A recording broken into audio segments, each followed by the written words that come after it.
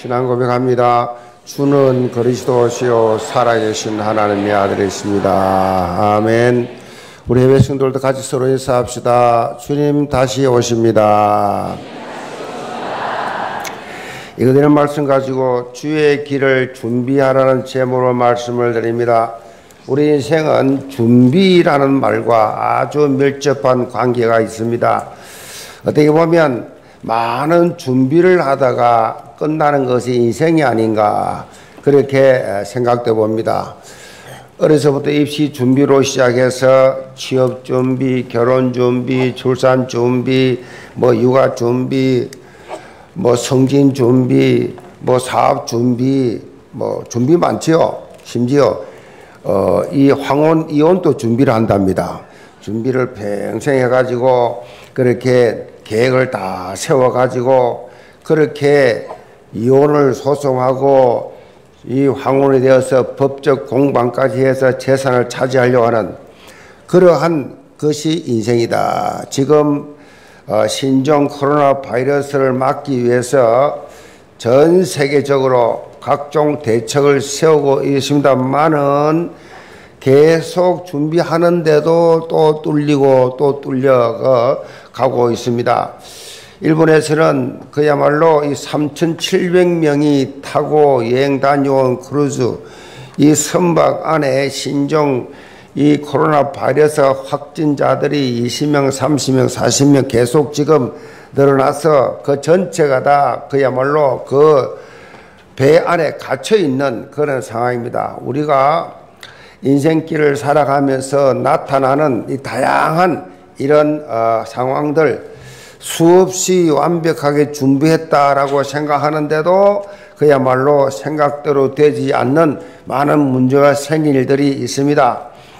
때로는 우리가 준비한 것 전혀 맞지 않는 경우도 있습니다.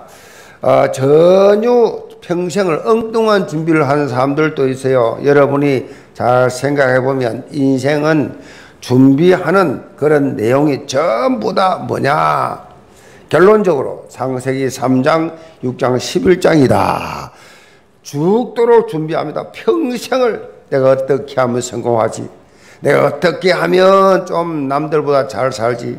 내가 어떻게 하면 부자가 돼가지고 권력을 많이 누리면서 그렇게 살고 등등 그렇게 일을 위해 준비하는 거다 뭡니까? 결과적으로 하벨탑이다. 그런 결과가 나지요. 창세 11장에 분명히 말씀하고 있어요. 세상 사람들은 다 이것 때문에 살아요. 죽도록 고생하면서 돈 벌어가지고 잘 살기 위해서, 성공하기 위해서 죽으라고 합니다. 결과가, 결과가 뭡니까? 다 무너진다. 자, 주일 말씀드렸지만 우리 영의 눈을 열고 여러분 삶을 돌아보고 현장을 돌아보시기를 바랍니다. 영적인 사람 여러분. 세상 사람은 다 육적인 사람은 서론 이정 살다가 서론을 다 무너져. 다 무너지는데 여러분 영적인 사람이 영의 눈을 열어야 돼. 육신의 눈에는 보이지 않는 그야말로 이 영적인 것. 세상 사람들은 뭐만 보여요? 성공만 보여요. 물질만 보여요. 세상 것은 그 세상 사람들 전부 다 그것이 인생 본질이에요. 오직 물질, 오직 성공. 우리는 영적 본질을 봐야 됩니다. 이것을 준비하고 그것을 위해서 믿음에 도전해야 돼. 오늘 살펴볼 이 마태복음 3장 말씀은 영적 본질을 평생 준비한 그리고 멋있게 마무리한 그런 인물이 등장해요. 그가 바로 예수 그리스도가 이 땅에 처음 오실 그 길을 준비한 세례 요한입니다. 세례 요한은 예수님을 맞이하기 위해서 준비했던 삶을 살아요. 준비하는 삶을 살았어. 우리가 중요한 여기서 뭘 발견되느냐?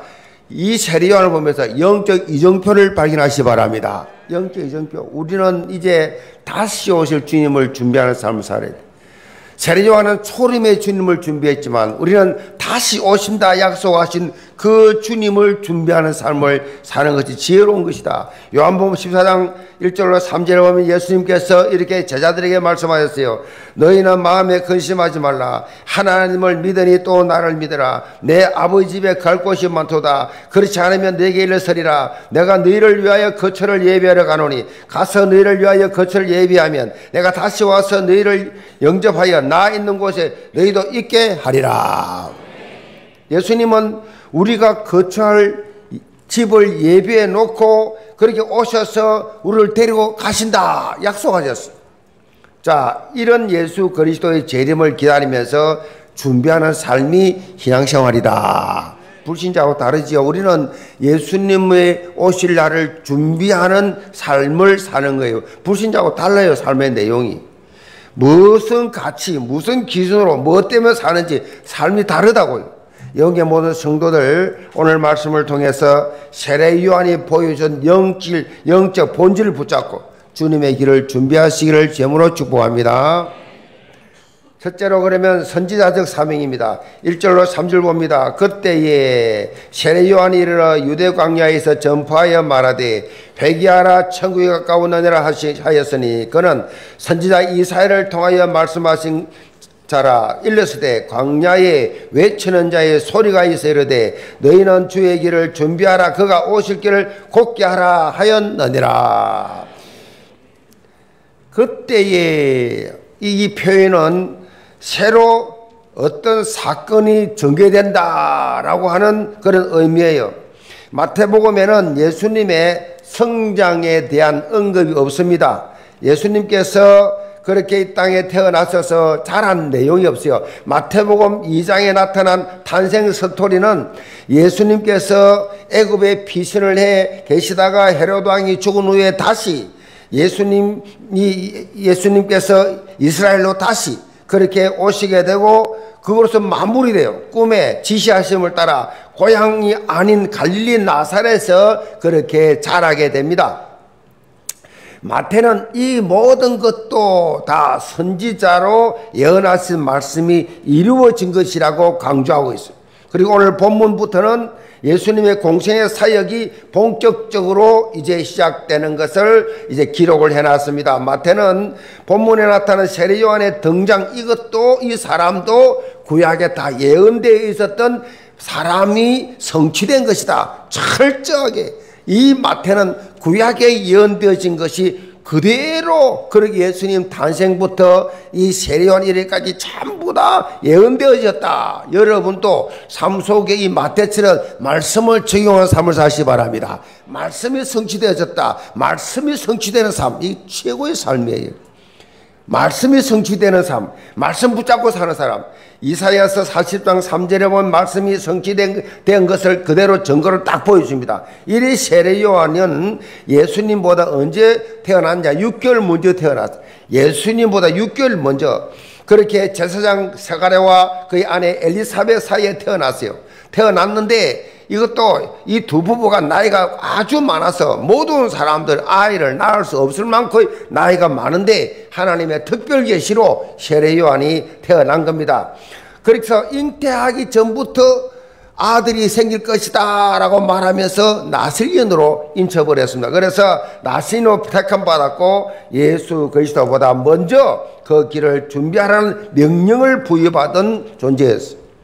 예수님께서 본격적으로 사역하기 앞서서 거기를 닦는 역할을 그렇게 해라. 이런 사명을 부여받은 세례요한은 유대 광야에서 유대 광야에서 회개와 천국 메시지를 선포하고 요단강에서 회개의 물, 회개와 물세례를 주는 그래서 사람들이 회개하고 예수 그리스도를 영접하도록 믿도록 준비하는 준비하는 이러한 일을 하게 되었습니다. 예수님 오시기 전에 이스라엘의 영적 상황은 흑암 그 자체였어요. 예수님 오시기 전에 영, 이 이스라엘은 구약 말라기가 끝이 나고 신약 마태복음이 시작되는 이 구약과 신약 사이 중간기라 그럽니다. 이 중간기 약 400년 동안에 하나님이 이스라엘에 말씀을 주지 않았어요. 늘 하나님께서 주의 종들을 세워서 말씀을 주었는데 이 400년 동안 하나님이 말씀을 하지 않았다. 그래서 이 신약과 구약 사이 이 중간기를 암흑 영적 암흑기라 그렇게 말을 합니다. 온갖 뭐요 말씀이 안 오니까 온갖 인본주의가 판을 치고 우상이 판을 치고 그야말로 하나님이 없는 이런 흑암 가득한 그런 세상으로 변해버려 한마디로 영적 재앙지대가 되어버려 있는 현장에 세례 요한이 태어난 거예요.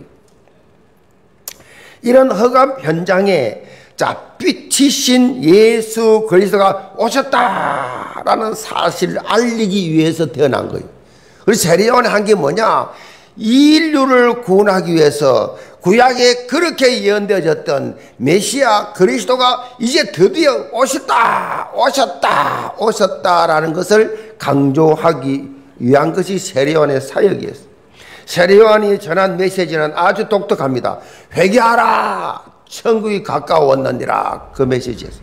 회개하라 청 가까웠다 천국이 가까웠다. 이게 무슨 말이에요? 하나님 나라가 임했다는 거 아닙니까? 천국이 가까웠다 말은 하나님 말이 임했다.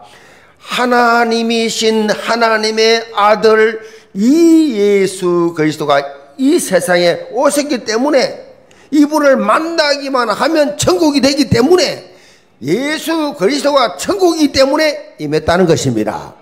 내 주 예수 모신 곳이 그 어디나 할나라. 태산을 넘어 험고에 가도 예수와 함께 하시면 천국이라. 어떤 상황 속에서도 예수 그리스도가 임한 곳은 하나님의 나라예요. 그래서 이 교회는 지상 천국인데 지상 천국이란 말은 예수 그리스도가 계시는 곳이기 때문에 천국 지점이라. 아멘. 예수 그리스도를 모신 여러분은 교회라. 그래서 하나님 나라가 임했다. 아주 정확한 복음을 증거한 거예요. 천국에 가까웠다. 자, 하나님이신 예수 그리스도가 이 땅에 왔다. 하나님 나라가 임했다. 예수님께서 예수님께서 이런 세례 요한을 보고 누가복음 7장 28절에 지금까지 여자가 낳은 사람 중에 최고 큰 자다 그랬어. 최고 큰 자다. 그 이유가 뭐냐? 아무도 모르는데 아무도 인류 구원할 메시아가 오늘도 아무도 모르겠는데 이 세례요한이 예수 그리스도를 제대로 그렇게 설명했기 때문에 여자가 낳은 자 중에 제일 큰 자라고 그렇게 말씀하셨어요. 우리는 이 장세기 3장 흑암이 가득한 이 세상 현장에서 세례요한처럼 예수 그리스도에 대한 정확한 정확한 복음을 여러분이 증거할 수 있기를 바랍니다. 정확한 복음을 선포하는 여러분을 뭐라 그러냐? 선지자. 이 시대 선지자적 사명을 주셨다. 예수 믿는 사람들, 예수를 그리스도로 믿는 사람들, 예수가 뭐냐? 선지자, 제사장, 왕적 사명을 감당하기 때문에 예수 믿는 사람도 똑같이 그리스도의 사역을 감당하기 위해서 그리스도인이라. 그래서 여러분은 따라서 선지자적 사명, 세상적 사명, 왕적 사명 이 세 개가 주어졌어요. 그래서 여러분이 가는 곳마다 하나님을 만나는 역사에 날 줄 믿으시 바랍니다. 여러분이 만나서 복음을 증거할 그 사람의 죄가 사해주는 제사의 사명이 있는 줄 믿으시 바랍니다. 사탄에게 잡혀 고통당하는 자에게 여러분 통해서 해방을 시켜주는 역사 일어날 줄 믿으시 바랍니다. 그 여러분 대단한 분들이 여러분이 이 시대를 살릴 수 있는 전도자란 말이에요. 여러분만이 정확한 복음을 들었기 때문에 복음 들은 자의 사명이 있음을 책임이 있음을 믿으시 바랍니다. 엄청난 책임이 주어서 엄청난 사명자야. 창세기 3장 6장 11장이 설명하는 불신자들의 이 인생 우선순위가 뭐예요? 우선순위가 이들이 지금 살고 있는 방법이 전부 다 우상숭배. 이 땅 없어질까? 그야말로 끊임없이 끊임없이 하나님 떠나 제 가운데 사단 종로로 타다가 영적 문제 걸려서 후손들까지 다 고통당하는 것이 불신자. 저들에게 우리는 답을 줘야 됩니다. 무슨 답을 줘야 됩니까? 사도행전 1장 1절 오직 그리스도 1장 3절 오직 하나님 나라 1장 3절 오직 성령 충만 이 길밖에 살 길이 없다. 이 길밖에 사주팔자 운명 저주에서 빠져나온 길이 없다는 사실을 말해 주시기를 바랍니다. 교도소에 두 죄수가 앉아 대화를 합니다. 한재수는 이렇게 말합니다. 내가 사람들 말만 제대로 좀 들어줬다면 그 충고의 말을 들었다 하면 내가 이 신세가 안 될 텐데 라고 한탄을 합니다. 그러니까 또 한 사람이 그럽니다. 나는 사람들 말만 듣다가 이 신세가 되었는데 사람의 말을 안 들을 수도 없고 들을 수도 없고 어쩌란 말이냐. 세상 살다 보면 이 사람 말, 저 사람 말, 사람 말 듣기도 하고 말하기도 하는데 그럼 어떻게 하란 말이냐. 사람의 말은요, 불완전합니다. 오늘의 진리가 내일이 거짓이 될 수 있어요. 사람의 말은 다 한계가 있어요. 우리는 무슨 말 듣고 살아야 되느냐? 오직 하나님의 말씀. 하나님의 말씀만이 진, 진실되기 때문에 하나님 말씀만이 거짓이 없기 때문에 하나님 말씀만이 살아있기 때문에 하나님의 말씀은 어때요? 어제나 오늘이나 영원토록 동일하십니다. 아브라함이 하신 말씀이 나에게 하신 말씀이요. 다윗에게 하신 말씀이 나에게 하신 말씀이요. 바울에게 하신 말씀이 나에게 하신 말씀이요. 언제나 하나님 말씀은 어제나 오늘이나 동일해요. 그래서 푸른 마르고 꽃을 시드나 나 여호의 말씀은 영원히 서리라. 영계 모든 성도들은 강단에 선포되는 하나님의 이 말씀을 꽉 붙잡으시 바랍니다. 말씀 붙잡고 사세요. 세상에서 사람 말 듣고 이 사람 말 듣고 저 사람 말 듣고 이런 계획 저런 것이 아무 소용 다 바벨탑 세상 지식가 아무 소용 없어요. 오직 하나님의 말씀, 하나님의 말씀, 이 말씀 속에 하나님 응답의 시간표가 다 있음을 알고 강단 말씀 잡으시 바랍니다. 말씀 잡고 살아야 돼. 세상에서는 다른 사람 말 들으면 이 말 듣고 그냥 그냥 하나님 말씀 금방 두고 다 잊어버려. 예배 드리고 나서 나가면서 오늘 설교 뭐 들었지 물으면 아무것도 몰라. 그 다음날은 깜깜해. 일주일 지나면 완전히 잊어버려.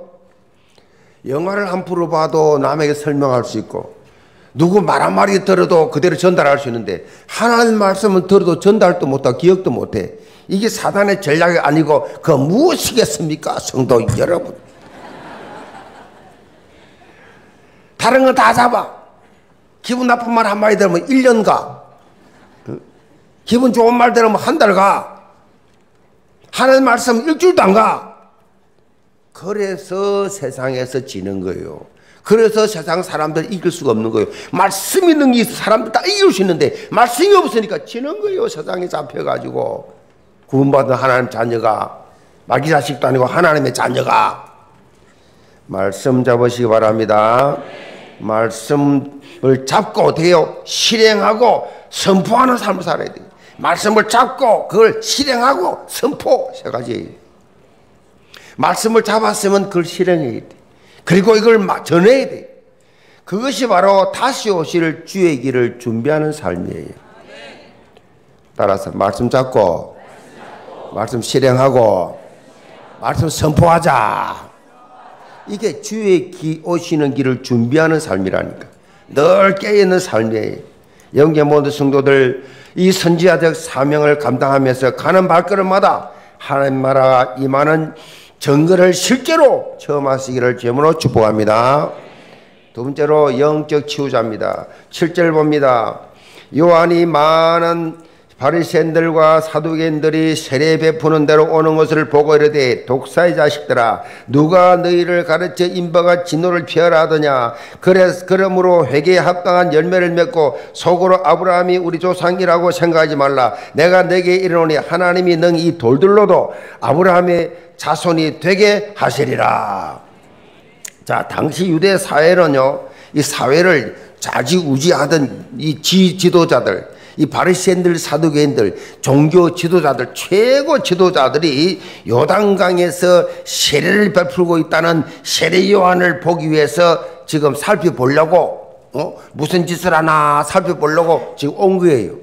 왜냐하면 그때 세례 요한이 선포하는 메시지하고 이 베푸는 세례 이것이 지금 유대 사회의 큰 이슈가 됐어요. 그 유대라는 게 뭐 이스라엘은 뭐 예루살 저 강원도보다 작기 때문에 그냥 소문이 다 퍼졌어. 그런데 이 세례 요한은요 이들을 향하여 아주 직격탄을 쏘았습니다. 뭐라고 했습니까? 이 독사의 자식들아. 종교 지도자입니다. 모든 사람들의 존경과 정말로 경비를 받는 이러한 이 지도자들 향하여 이 독사의 자식들아, 이 무슨 말이에요? 독사의 자식들아, 독사의 자식들아, 마귀 자식들아, 이 말이. 이 마귀 새끼야, 그 말이. 겁나는 말이에요. 이 명예훼손입니다, 이거 지금. 엄청난 지금 보통 지금 저주가 아니에요. 이 독사의 자식들아, 예수님들이 말씀하니 이 독사의 자식들아, 이 회칠한 무덤들아. 그렇게 바리새인들 보고 혼을 낸 적이 있는데 이 지금 세례관이 바리새인 세관들 보고 뭐랍니까? 누가 너희를 가르쳐 임박한 진노를 피하라 하더냐? 이 말은요, 너희가 무슨 근거로 임박한 하나님의 심판을 피할 수 있다라고 생각하냐? 이런 말이에요. 너희들이 지금 혈통적으로 아브라함의 후손이라 구원받을 수 있다고 생각하냐? 너희들이 지금 하는 그 행위 그 자체가 구원이 있다고 생각하냐? 겁나는 말이에요, 지금. 다 뒤엎어버리는 말씀.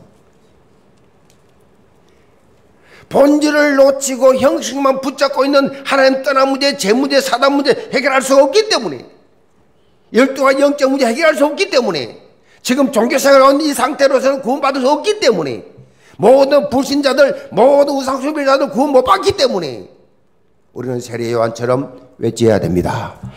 이걸 외쳐야 돼요. 인생의 가장 최우선 순위 해결될 수 있는 가장 근본적인 가장 중요한 게 뭐냐? 무슨 성공하기 전에, 돈 많이 벌기 전에, 출세하기 전에, 뭐가 가지기 전에 해결돼야 될 것이 뭐냐? 영적 문제예요. 영적 문제 해결돼야 돼. 그 말이에요, 지금. 종교생활, 종교생활을 다 구원한다고 생각하냐? 나 모태신앙이라고. 나 우리 집안이 대대로 기독교 집안이라고. 그 구원받는 생각하지 마라. 웃기지 마라.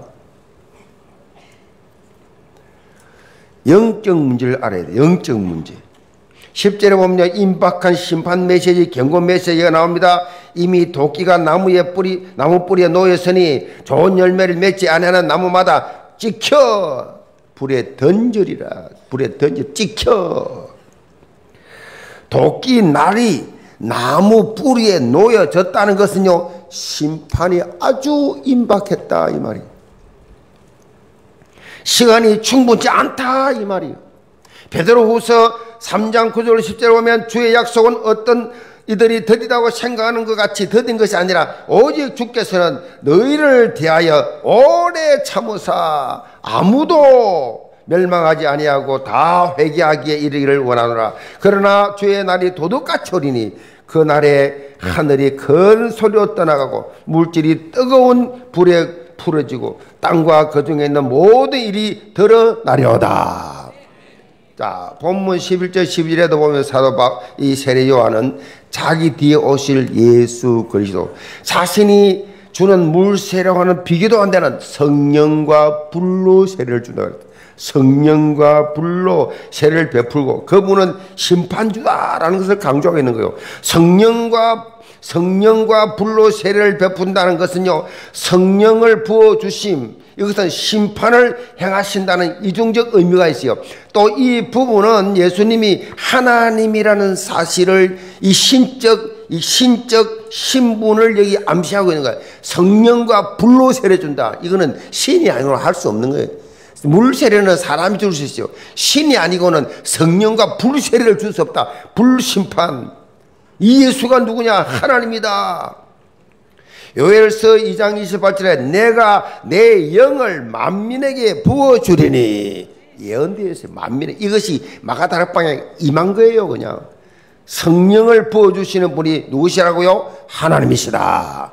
여러분이 하나님을 바라보시 바랍니다. 하나님을 아버지라 부르시 바랍니다. 하나님 아버지께 부탁하시 바랍니다. 그분만 바라보시 바랍니다. 그렇기 때문에 세례 요한은요, 자신은 예수님의 이 오시는 예수님의 신을, 신발을 들 자격도 없다.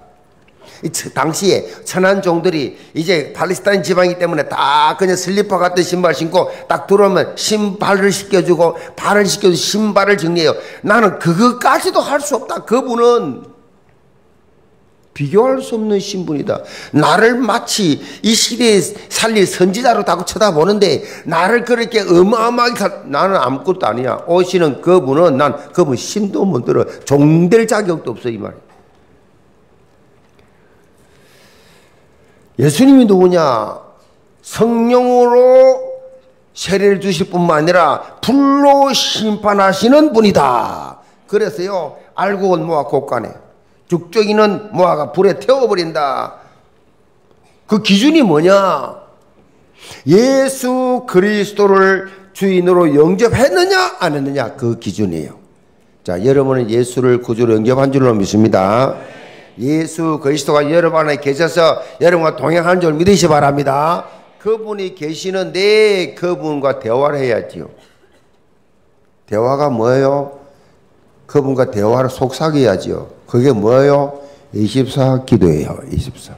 기도 속삭여. 뭔 염려라면 너 염려를 다 죽게 맡겨버려라.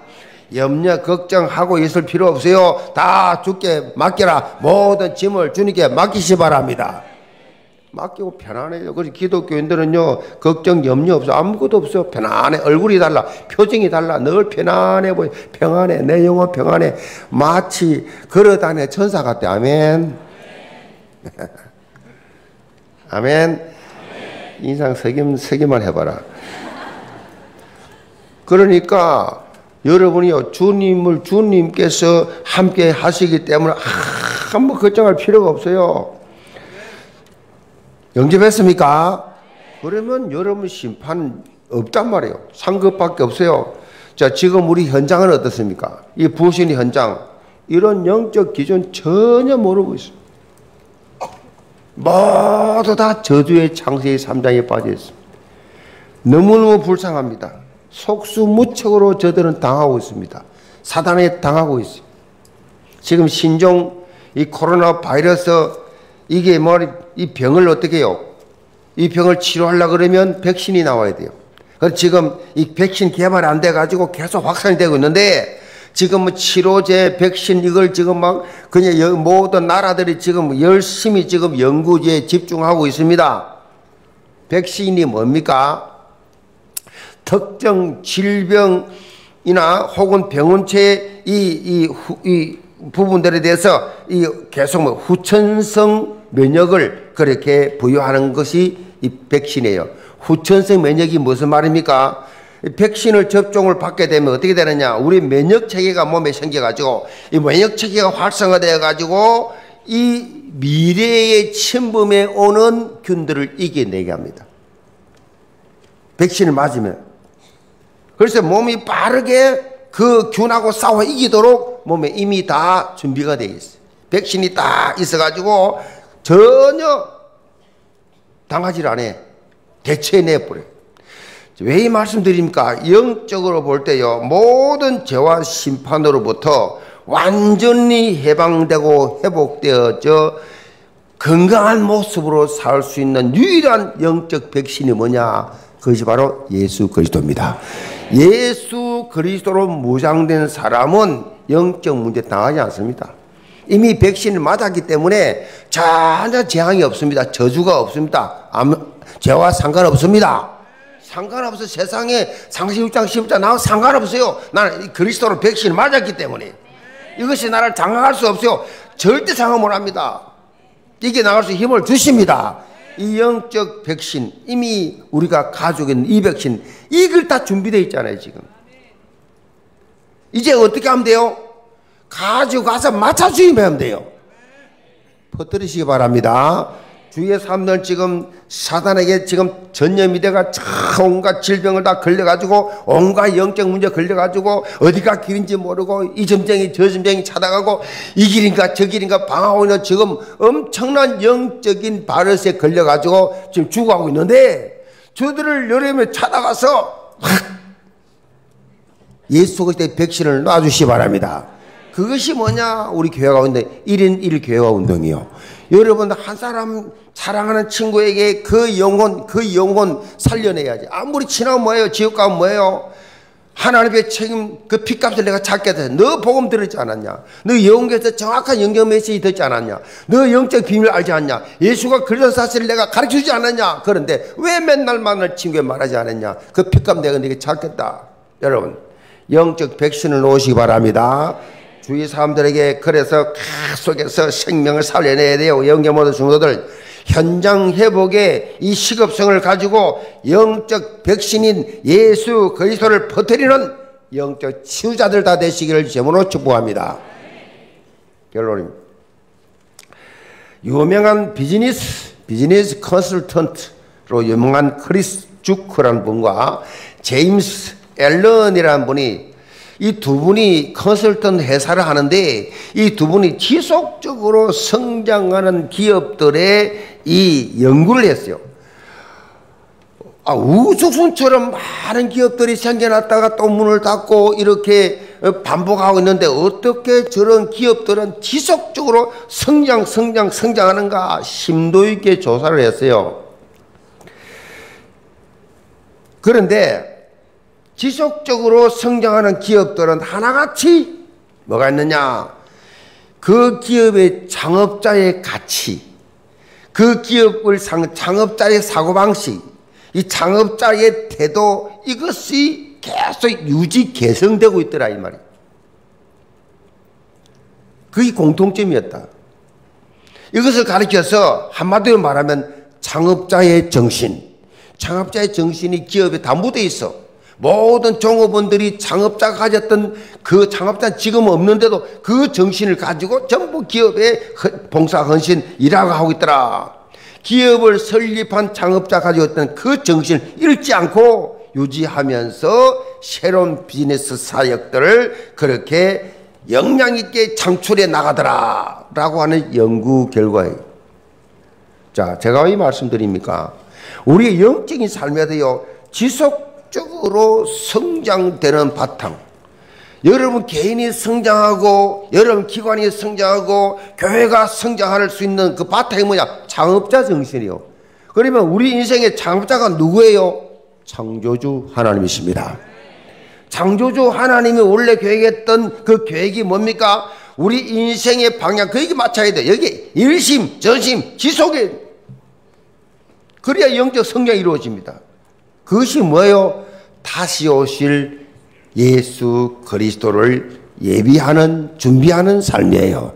다시 오실 주님 바, 바울처럼 천국의 멸류관을 기대하는 그러한 신앙생활 언제나 천국 하늘나라 영원한 상급 받을 준비 썩어 없어질 멸류관이 아니라 영원히 썩지 않을 멸류관을 바라보고 사랑하는 그러한 다시 오실 주님을 예비하는 그러한 준비하는 삶을 사는 것이 장, 창업자이신 예수 하나님의 전능하심에 이 손을 맞추는 거예요. 영계 모든 성도들 하나님 나라 복음 전파를 위해서 여러분은 선택받았습니다. 이제 보내심을 받았습니다. 선택을 받았으면 이제는 보내심을 받았기 때문에 제자들이 선택받아서 다 세상으로 나가서 이게 우리의 근본적 사명이 여기에 올인해야 됩니다. 여기에 놀라운 하나님께서 있는 축복이기 때문에 집중해야 됩니다. 이 재창조의 삶, 이 속에 24 복음 제자의 삶이 있다. 우리에게 모든 성도들 한 시대에 부르심을 여러분 기억하고 하나님께서 나에게 주신 이 기대한 기중한 이 영적 백신이 복음을 가지고 주님 오실 그날을 기다리면서 지금 또 여러분 주위에 주관하는 많은 영혼들을 살려낼 수 있는 전도자들을 다 되시기를 제물로 축복합니다. 기도합시다. 아버지 하나님이여 우리의 온계 성도들 모두 다 늘 예배 드릴 때마다 말씀 들을 때마다 쓸레이는 마음으로 말씀을 받게 하여 주옵소서. 이 말씀이 삶 속에 날마다 적용되어서 실행됨으로 열매 맺는 증거가 일어나게 하여 주옵소서 하나님께서 나를 부르신 이 선지자적 사명을 삶 속에서 실현하면서 하나님이 주시는 하늘로부터 나리는 참 기쁨, 참 감사, 참 풍성함이 넘치는 그리스도의 제자들이 다 되게 하여 주옵소서 예수 그리스도를 받들어 기도합나이다. 아멘.